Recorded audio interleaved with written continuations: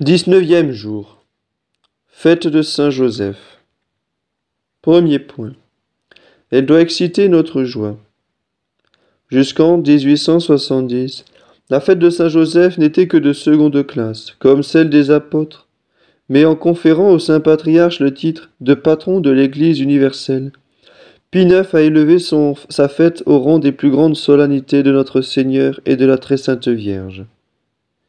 Réjouissons-nous, âme chrétienne, de ce surcroît d'honneur rendu par le vicaire de Jésus-Christ à l'auguste chef de la Sainte Famille. La glorification d'un Père ne rejaillit-elle pas sur ses enfants? Et n'est-ce pas un grand bonheur pour eux de le fêter? Oui, réjouissons-nous, tressaillons d'allégresse car le 19 mars sera désormais une fête bien chère à nos cœurs et à tous les pieux serviteurs de Saint Joseph. C'est le jour que le Seigneur a fait. Ô séraphique Thérèse, vous qui avez désiré si souvent inspirer à tous les hommes les sentiments de vénération dont vous étiez pénétrés pour ce grand saint. Ô, tressaillez aussi d'allégresse au ciel. Vos souhaits sont accomplis. Son amour est dans tous les cœurs, sa louange sur toutes les bouches, et des millions de voix s'unissent au cœur des anges pour célébrer sa fête sur la terre. Que cette touchante solennité soit pour vous, âme chrétienne, comme un jour dérobé aux préoccupations de la vie et passé en la délicieuse compagnie de la Sainte Famille, où tout respire la paix du ciel et le parfum du pur amour. Ce n'est plus quelques particularités seulement de la vie de Saint Joseph qu'il faut méditer dans ce grand jour. Réunissez-vous dans un même tableau tous les traits de ses vertus, tous les rayons de sa gloire, et remerciez Dieu de vous avoir donné un Père si tendre, un protecteur si puissant, un modèle si accompli. Que toutes les créatures vous louent à jamais, ô Seigneur, de ce que vous avez fait en faveur de Saint Joseph. Que béni soit aussi l'illustre pontife Pie IX, qui nous l'a donné pour protecteur et ajouté tant de pompe à son culte. Deuxième point. Elle doit ranimer notre confiance. Au sentiment de joie, joignons un sentiment de confiance. Si tous les jours de l'année nous pouvons compter sur la toute-puissance protection de Saint Joseph, Combien l'espérance d'être exaucée doit-elle être plus ferme encore dans ce beau jour où l'Église entière est prosternée à ses pieds, où le Fils de Dieu répand les grâces les plus abondantes par les, par les mains de son Père nourricier.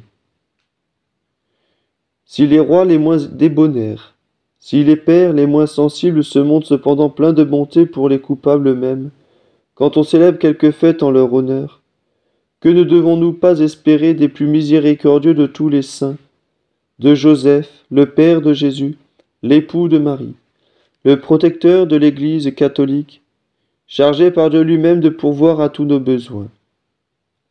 Écoutons sainte Thérèse. Je ne me souviens point d'avoir, depuis quelques années, rien demandé à saint Joseph le jour de sa fête, que je ne l'ai obtenu.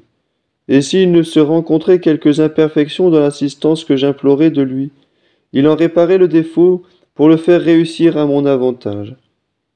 Il en sera ainsi, n'en doutons pas, pour tous ceux qui s'adresseront avec confiance à Saint Joseph et célébreront sa fête avec ferveur. Recourons donc tous à l'époux de Marie, avec la confiance la plus filiale, la plus entière, et demandons-lui les grâces spirituelles et temporelles dont nous avons besoin. Recommandons-lui notre famille, nos bienfaiteurs, nos amis, nos parents vivants et défunts. Prions-le pour la France, pour le souverain pontife, pour l'Église. Supplions-le enfin de nous obtenir la grâce d'une bonne mort.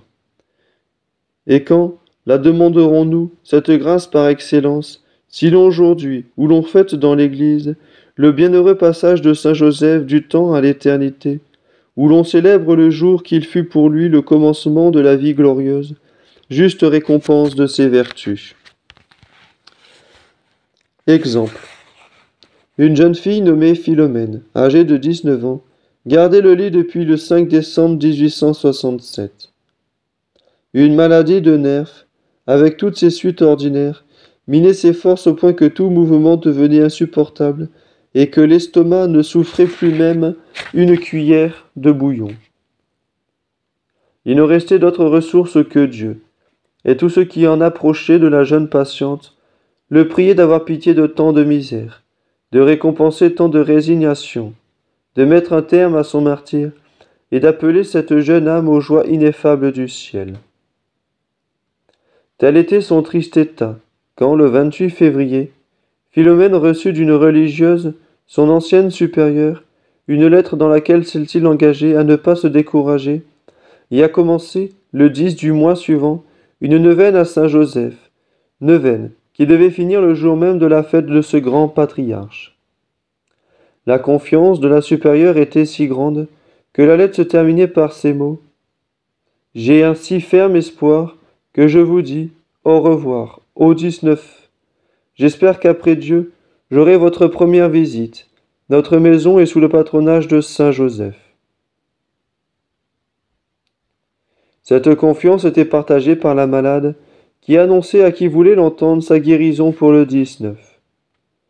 Pendant la, pendant neuvaine, le mal ne fit que croître. Le 17, la jeune fille était sous le coup de terribles douleurs. Mais le 18, elle s'était sentie soulagée.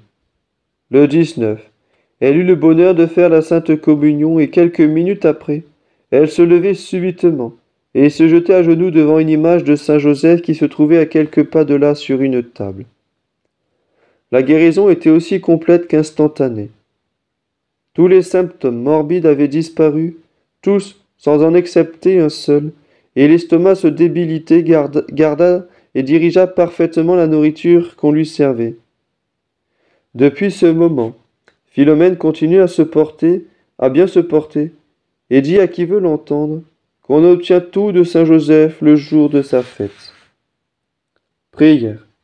Ô glorieux Saint, dont l'Église célèbre aujourd'hui la fête, et dont le ciel chante les louanges, je me joins d'esprit et de cœur à ce Hosanna solennel, et vous adresse toutes mes félicitations.